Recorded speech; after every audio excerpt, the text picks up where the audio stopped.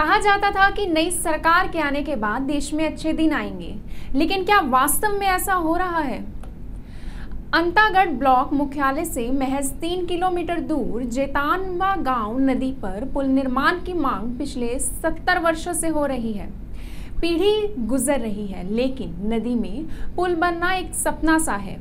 चुनाव के वक्त पुल नहीं तो वोट नहीं, की कोशिशें कई बार ग्रामीणों द्वारा की गई हैं। नेताओं ने मीठे मीठे आश्वासनों से वोट तो पा लिए हैं, लेकिन फिर भी पुल नहीं बन पाया है। जहाँ ग्रामीणों को अपनी जान जोखिम में डालकर नदी पार कर ब्लॉक मुख्यालय, सरकारी और निजी कार्य के लिए जाना पड़ता है।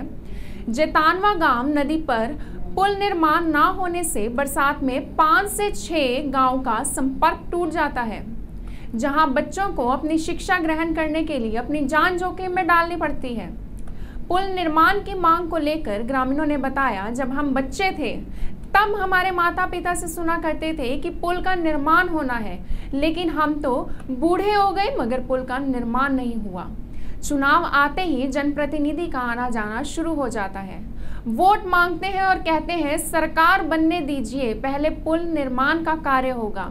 सरकार बदल गई, मगर हमारे गाँव की समस्या वहीं की वहीं रही। आश्वासन तो बहुत मिले, मगर पुल निर्माण का कार्य शुरू नहीं हुआ। ज़रूरी है लेकिन अभी वो बड़ा पुल प्रक्रिया बड़ा है पुल। उसके लिए अब शासन स्तर से कार्यवाही चल रही है। अगर स्वीकृत हो जाता है तो पुल का कार्य पुल बनाने का कार्य शुरू हो जाएगा। सर लगभग साठ वर्षों से लगातार ग्रामीण मांग रहे हैं लेकिन आज तक कुछ पहल नहीं हुई। तो कोई पहल हो? नहीं पहल आया अभी है चल रहा है इसकी प्रक्रिया चल रही है। स्वीकृत होने के बाद उसका काम शुरू हो जाएगा। ऐसे ही लेटेस्ट खबरें पाने के लिए सब्सक्राइब बटन पर क्लिक कर बेल आइकन को दबाएँ।